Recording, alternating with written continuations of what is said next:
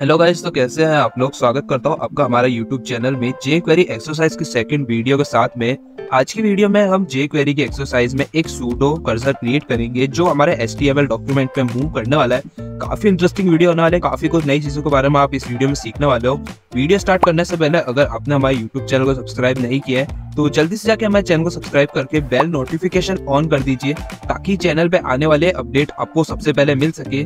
तो चले गए चलते हमारे कंप्यूटर स्क्रीन पर और देखते हैं कि किस तरह से हम सूडो क्रिएटर कर्जर किस तरह से क्रिएट कर सकते हैं।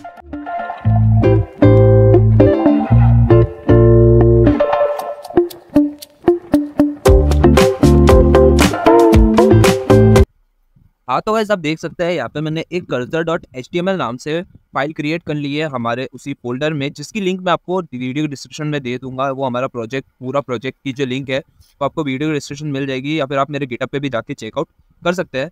और अभी क्या करूँगा अभी मैं सिंपली एच का बॉयलर टेम्पलेट क्रिएट करके सिंपल यहाँ पे लिखूँगा कर्सर आईओ सूडो कर्सर तो इधर मेरे को लिखना रहेगा सूडो कर्सर आईओ तो यहाँ पे लिखूँगा सूडो कर्सर आईओ तो ये हमारी एक्सरसाइज होगी और मैं स्टेज को रिलोड करके हमारा जे, जो हमारा लाइव सर्वर है, उसमें फ़ाइल को रीलोड कर रीलोड कर लेता हूँ।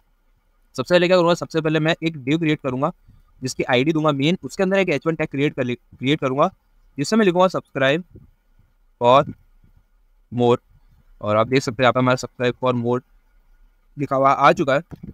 उसके बाद मैं नीचे एक और डिव क्रिएट करूँगा, जिसकी क्लास मैं दूँगा कर्जर यहाँ पे लिखूँगा कर्सर ये हमारी क्लास मैंने दे दी कर्सर और आप देख सकते हैं ये हमारी क्लास आ जाएगी कर्सर और ऊपर की तरफ़ मैं इस हमारे एच डॉक्यूमेंट को थोड़ी स्टाइलिंग दे देता हूँ. एच डॉक्यूमेंट की स्टाइलिंग के लिए मैं इधर एक स्टाइल टैग लिखूँगा. स्टाइल टैग में सबसे पहले मैं बॉडी जो हमारी होगी, उसमें इसको, हमारे बॉडी को फंड फैमिली यानी इसका फंड चेंज करूँगा. फंड दे दूँगा मैं, ये वाला दे दूँगा लूसिडा सेंस और यहाँ पर मैं इसमें फंड के साथ में मैं इसको बैकग्राउंड कलर दूँगा.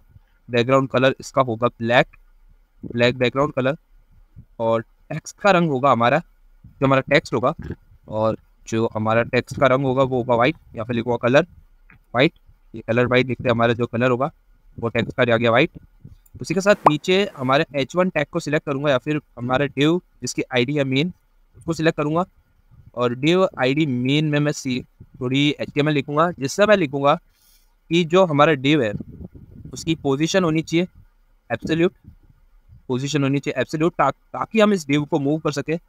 इस डिव को टॉप से हम लोग फिफ्टी परसेंट मूव करेंगे और लेफ़्ट से मूव करेंगे फिफ्टी परसेंट और लास्ट में हम यूज़ करेंगे ट्रांसफॉर्म प्रॉपर्टी का, जिसमें हम इसको ट्रांसलेट करेंगे minus fifty percent comma minus fifty percent मैंने यहाँ पे माइनस एटी लिख दिया तो मैं इसको करेक्ट कर देता हूँ।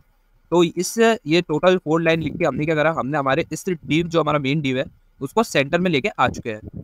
इसके साथ हमारा ये डीव का काम कंप्लीट हो गया है। अब हमें यूज़ करना है हमारी कर्सर को। तो आप लिखो कर्सर कर्सर की प्रॉपर्टी मुझे यहाँ पे कर्सर की थोड़ी एस्टिमेट लिखनी पड़ेगी, जिससे मैं इस कर्सर को बैकग्राउंड कलर दूँगा। इधर लिखूँगा बैकग्राउंड कलर और बैकग्राउंड कलर में दूँगा व्हाइट तो यहाँ पे लिखा व्हाइट उसी के साथ में, मैं यहाँ पर कर्सर को दूँगा विथ विथ में मैं लूँगा ट्वेंटी फाइव इसके साथ में हाइट में लूँगा इस कर्सर की ट्वेंटी फाइव पिक्सल आप देख सकते हैं यहाँ पे हमारा कर्सर आ चुका है।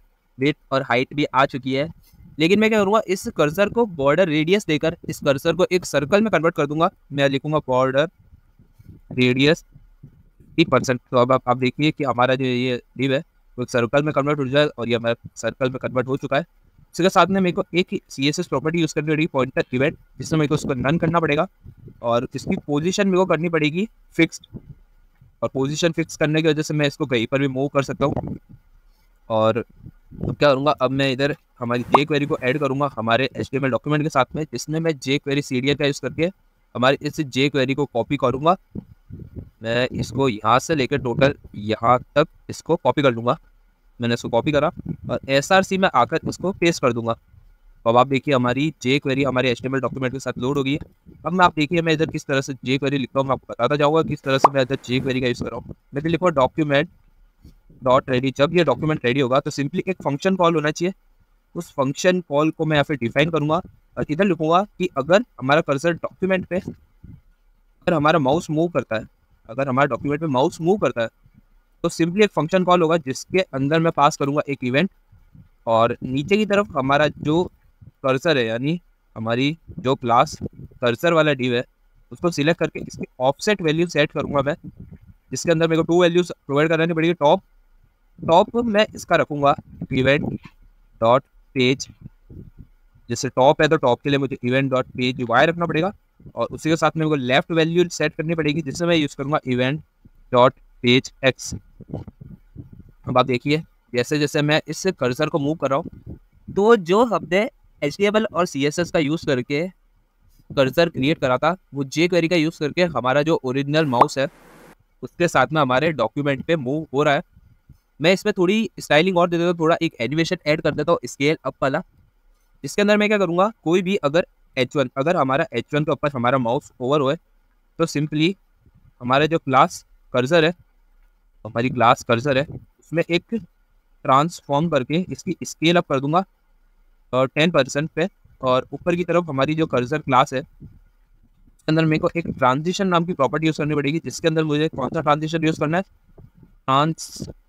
ट्रांसफॉर्म और ट्रांसफॉर्म होना चाहिए फाइव सेकेंड के अंदर। अब आप देखिए, मैं जैसे इसके ऊपर मूव करूँगा तो ये हमारा जो हाइट और विथ है, वो टू टेन टाइम्स इंक्रीज हो जाएगी। इसके साथ अब क्या करूँगा मैं? इसी के साथ में अगर मैं लिखता हूँ सेट इंडेक्स मेजर कर दूँगा वन और इधर अगर मैं यूज़ करता हूँ मिक्स ब्लेंड मोड और मिक्स ब्लेंड मोड में डिफरेंस आप देखिए, काफ़ी एक अच्छा सा एनिमेशन हमारा यहाँ पे क्रिएट हो हो गया है। मैं अगर आप देखिए कि अभी हमारा जो ये सूडो कर्जर है, वो थोड़ा कर्जर के थोड़ा नीचे है। तो इसके लिए मैं क्या करूँगा? माइनस करूँगा, थोड़ा माइनस करके देखूँगा कि किस तरह से हमारा सेट हो रहा है। मैं अगर माइनस टेन करता हूँ ऊपर और नीचे तो हमारा जो कर्सर एकदम परफेक्ट तरीके से आ रहा है। अब आप देखिए, जैसे जब मैं इसके ऊपर मूव करूँगा, वैसे हमारा कर्सर मूव हो रहा है।